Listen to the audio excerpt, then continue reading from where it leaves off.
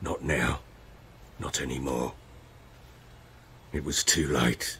That was clear. Should have acted earlier.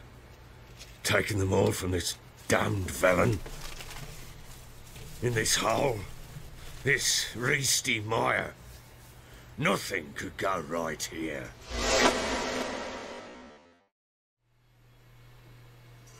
That lass of yours. Pure luck in the flesh. To hunt down a wild boar that size. Why, worthy of one of King Foltest's feasts, were he still among the living. Sherry, come! Our haunt should be yours as I see it. Oh, you done well, lass. Not bad. Not bad at all. But who goes boar hunting with a sword? No bow at hand, no spear. My sword was all I had. well, you brandished it beautifully. Where'd they teach you that, anyway? At Kaer Morhen. Witcher school there, aye. But they only took lads, as I recall. I'm not a witcher. Just grew up there. I believe it, seeing how you swing that sword. Know any of them potions? Not so much. A bit. Because you see, at times I get this pinching back here. Shut it, Egrin. Nobody cares about your backside. A woman could swing a sword. I've knowed one. But never seen a lady mount anything but a cock proper. All tipsy on horseback. Nothing strange on account they bloody mount them sideways. Perhaps you'd care to wager? Think you can outrun me on an horse? Naturally. What's the stake? Black mare. The one in the stable. Oh, that won't do at all. What happened? You get the jitters? No. So why not? The horse is mine. To race the Baron himself. I'd consider it an honour. Oh, that'd be a sight to behold. Would it ever? Done. But if I win, I take your sword. Agreed. I'd not drink any more this night. You'll want your head about you. And we start at daybreak.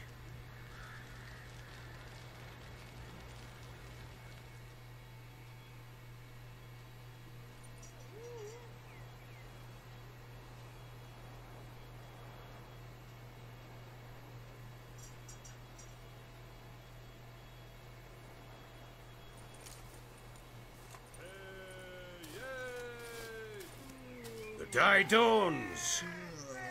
Ready? As ever. First one to the tower. Man chop! I have to say, I don't really care for the voice actress that plays Ciri.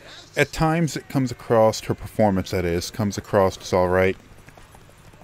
But other times, like in the scene we just saw where she was talking to the guys around the fire, she seems to be strangely excited. And it, it comes across as strange. Now, I guess it could be the fault of the director. But considering that the rest of the voice cast doesn't seem to have that problem, I'm gonna have to pin it on the actress who did the voice. I think like an important part of these kinds of performances to keep it just a little bit subtle. Anyway, won the race. You're wind, not woman. Worthy of the best horse. The mare is yours. Thank you! What?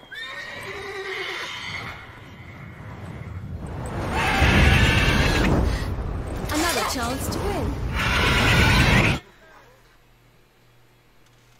She screamed like a mad woman. In an instant, all had forgotten the wager.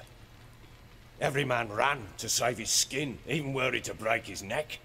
And they make it? Some, aye. Others were not so fortunate. But what happened then? I must say, Witcher, seen a lot, but nothing like this. Never. Uh-oh. I know that look. You're a fast learner. You'll know the rest once you find my wife. Working on it. And making piss poor progress. They split up. Hadn't considered that possibility before. But don't worry. I'll find Anna too. Can't help wondering why you made a deal with the Nilfgaardians. What could I do? Cast myself at them and die a hero? Fuck a hero's death. Fuck death. Rather live as a traitor. Ere long, none will remember it. Temeria is no more. There's naught left to betray. The local Nilfgaardian garrison doesn't look that strong. What of it? Even were I to attack, cut 'em down to a man, others will come soon. Black ones will flood this land, take control before long. Sure as we've all got arseholes, they will. How do you wind up here? Just curious. It's no secret. I was a Temerian soldier. My unit smashed at the war's start. Soon after, we lost hope of regrouping, driving the foe back. Those who remained wandered north. Others, deserters or merely broken men, joined us. We were a snowball rolling down a slope. By the time we reached Crow's Perch, I commanded a sizable force. Just march into the fortress, make yourselves at home? With Nilfgaard advancing, the local lord had fled, abandoned the perch. Once this war's over and Nilfgaard's victorious, the Black Ones will grant me a title. All talk of a self-proclaimed baron will cease. Heard anything about there being witches in Velen? I pay no heed to peasant babbling. Common folk see witches, wizardry, devils, and who knows what the fuck else every which way they turn. What's this talk? What kind of jabbering is this, eh? No one allowed here. Just kids. My kids. They're allowed. But who are you, wearing swords like a bandit?